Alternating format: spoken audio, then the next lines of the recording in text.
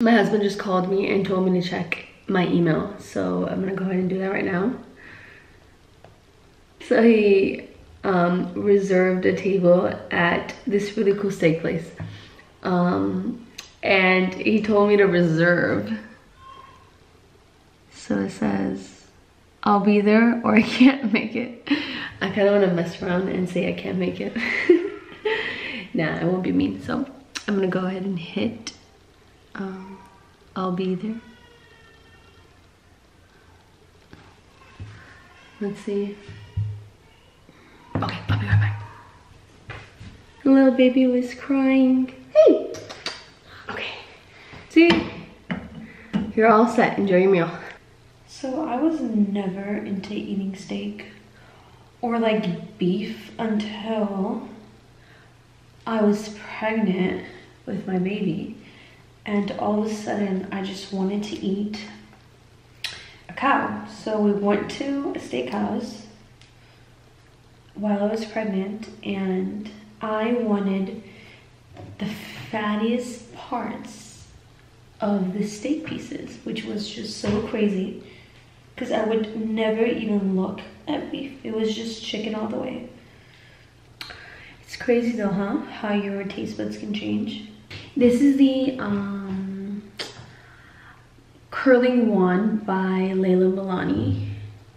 I get a lot of questions on how I exactly curl my hair. So I'm just gonna do a quick little tutorial. So I grabbed this much hair. Um, I grabbed the curling wand and it makes a difference on the overall look based off of how you um, wrap the hair around the wand. So I'm just gonna grab it and then just wrap as is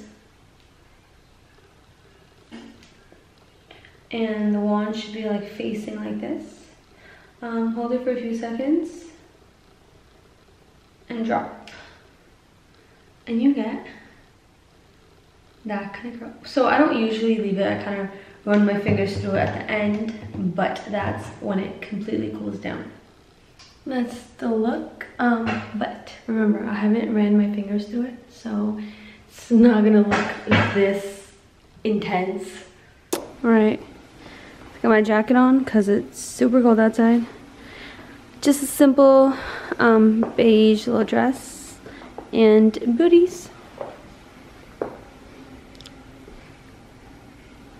28 you guys.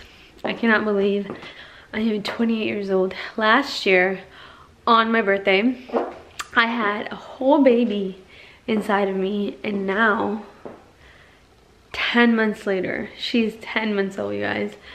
And I'm 28. Today was great. I actually really, really enjoyed my birthday. Um, I woke up to a surprise for my niece. My nieces and, you know, everyone in the house did a really cute surprise for me.